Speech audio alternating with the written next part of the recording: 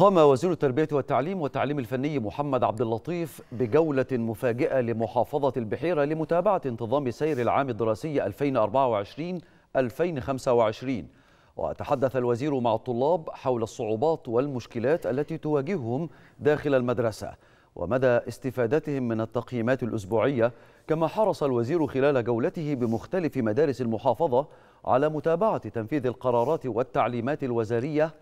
الخاصة بانتظام وانضباط سير العام الدراسي والتحقق من نسبة الكثافة في الفصول.